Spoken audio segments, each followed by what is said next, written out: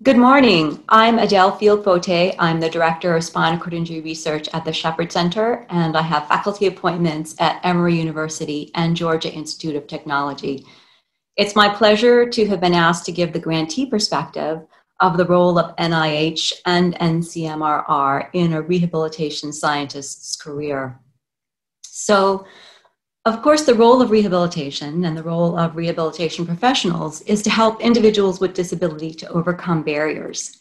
However, rehabilitation professionals themselves, those who start out as clinicians, may face barriers in their paths to becoming scientists. So, this is me as a brand new physical therapist, and uh, please don't judge my outfit. It was a Halloween costume, so that's why I'm dressed as a kindergartner. But in my professional career, I was not trained to undertake the types of research that are necessary for moving rehabilitation research forward. But there are many things about clinical training and that one learns in our professional training program that are valuable as a foundation for career and rehabilitation research. Clinical rehabilitation is person centered, it is interdisciplinary, and it's really rooted in teamwork, which are all very, very valuable for uh, rehabilitation research. NIH has really recognized the value of rehabilitation and the need for helping the development of rehabilitation research scientists. And this is very clear in the NIH research plan on rehabilitation from 2016, which we're in the process of updating. Many of those who are in the audience um, will know Ralph Nitkin from his very long and productive work in the training portfolio of NCMRR. And as testament to the value of um, that NIH places on rehabilitation research, the rehabilitation research plan actually, in its 30 pages, has 22 mentions of training. So it's clear that this is a high priority for NIH and NCMRR. In my own research career, I got my start with an institutional T32 training grant for which Dr. Shirley Sahrmann was the PI for the doctoral training program in movement science. And um, as a small indicator of when this was, you can see Dr. Sahrmann here at a American Physical Therapy Association meeting during that time. And you can see from the poster, you can get a sense of when this was, how many years ago. At that time, I was very fortunate to work with Dr. Paul Stein, professor of biology, who is a world renowned expert in central pattern generated control of movement. And I worked with a preclinical model of spinal cord injury, a complete spinal cord transection, and my work focused on understanding the role of spinal circuits in the production of bilateral coordinated behavior um, when there was no input from the brain. And during this time, what I learned from this work and from the prior work that Dr. Stein had done is that the spinal circuits are tremendously intelligent and control this coordinated behaviors even when the behaviors are produced bilaterally. However, what came out of that was a concern that there might not be a lot of interest in a PhD trained physical therapist who knew a whole lot about turtle scratching behaviors. My uh, other PhD student colleagues were being asked to give talks, and I was not being asked to give a talk. And so uh, I had a little bit of concern about the path that I had chosen, even though I thought this was tremendously exciting work. But right about that time, it became very clear that there were human evidence for the value of central pattern generated behaviors, in particularly as relates to stepping, and that these principles did generalize across species. There was also very good evidence that rehabilitation is among the most valuable approaches for some types of disability. This is one of the newer studies that I think supports that premise. This is from a systematic review that was published in 2016, where the authors looked at all the different types of cellular, molecular, genetic, technologic, pharmacologic interventions that are directed at improving function in people with spinal cord injury. And the conclusion was that the highest level for value of these interventions was for those that combined the intervention with a rehabilitation component.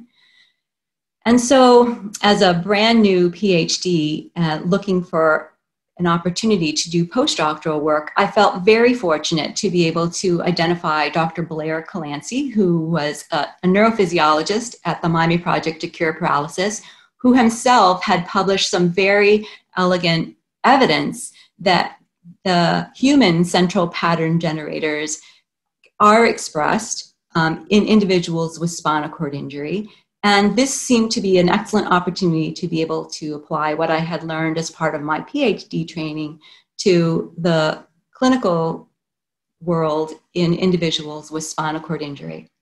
And so during this time, I was fortunate to be able to obtain a K01 award with the mentorship of Dr. Calancie, where I studied the role of sensory motor inputs on walking function in people with spinal cord injury and specifically, I looked at uh, the role of circuits that are associated with reflex um, activation of the lower extremities and saw how these could be incorporated as part of a locomotor training program for people with spinal cord injury. And so, from this work, what I learned was that neuromodulatory inputs that are targeting spinal circuits can really train as a valuable adjunct to locomotor training. But like all research, it often uh, raises questions beyond those that it intends to answer. And so the question that this work raised was Does this approach really optimize walking related outcomes in people with spinal cord injury, or might there be other approaches that are um, more valuable for improving walking function? So, this work led to my first R01 award, where I evaluated different locomotor training approaches to improve walking function in people with spinal cord injury. And this slide really brings home the point of um, what an important partner we have in the individuals who participate in our studies. So, these individuals give up their time to volunteer for our studies. And beyond the data that we're able to acquire with their time and contribution, they also give us very valuable insights about what things are important to them. So, in my laboratory, we're very interested in underlying mechanisms. So, we spend a lot of time during electro, doing electrophysiologic studies of um, cortical responses and spinal reflex modulation.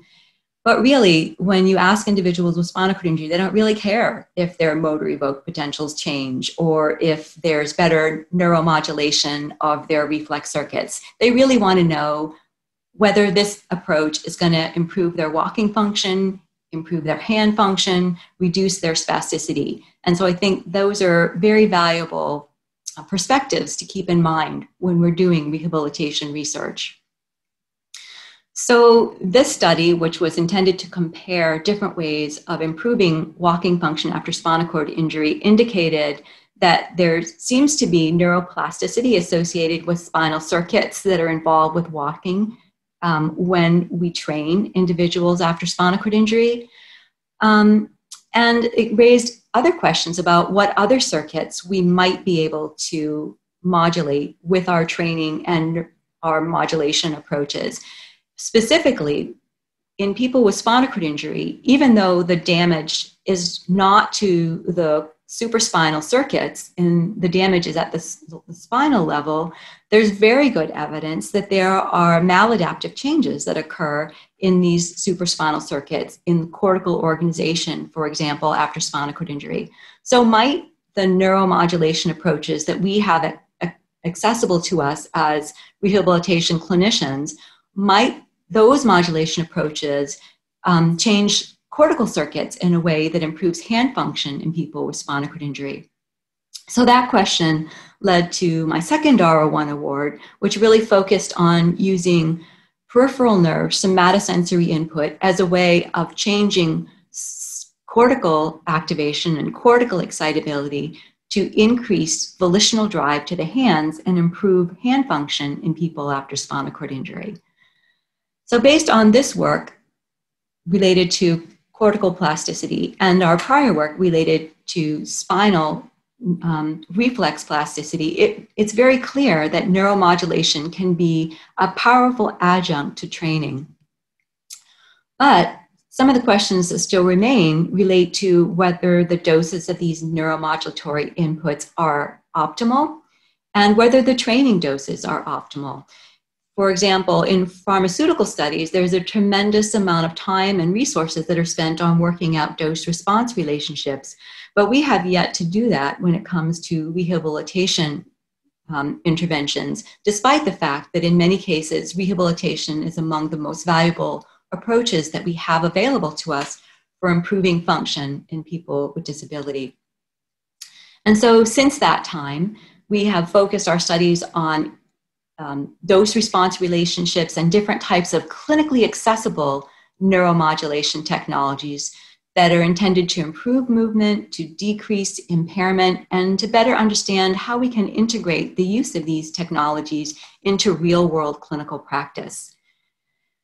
As important as it has been to address these research questions, it's also valuable to keep in mind that these um, this funding support has provided opportunities for training research, future research professionals. So I've been very blessed to have some outstanding trainees in my lab, both at the PhD level and at the postdoctoral level, who've gone on to make important and valuable contributions of their own to our field.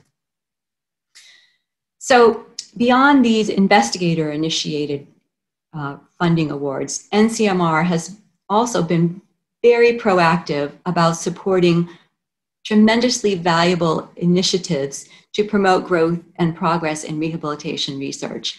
Among the ones that are most near and dear to my heart is training in grantsmanship for rehabilitation research. And this is a program supported by NCMRR that we offer in collaboration with the research, rehabilitation research community. So we have mentors who contribute their time, and we work for in this year long program in a one on one mentorship fashion to provide grant proposal mentorship, to allow opportunities for peer review and participating as a peer reviewer, and to have um, pre submission to have proposals reviewed by peers and by mentors as well.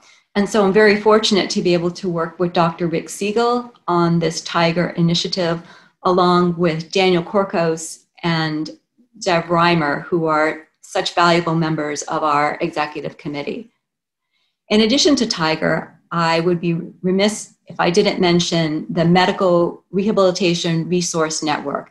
This is an amazing um, initiative that provides support for rehabilitation research in many, many different areas. And I encourage you to go on the NIH website and learn about these resources that are available to support rehabilitation research. So, with that, I'd like to conclude with one of my favorite sayings from Joseph Campbell Follow your bliss, and the universe will open doors for you where there are only walls. So, a career as a rehabilitation professional is a very wonderful springboard for a career as a rehabilitation scientist. And there are many opportunities available for you at NIH and specifically at NCMRR. I encourage you to look at what opportunities might be most valuable for promoting your career as a rehabilitation researcher.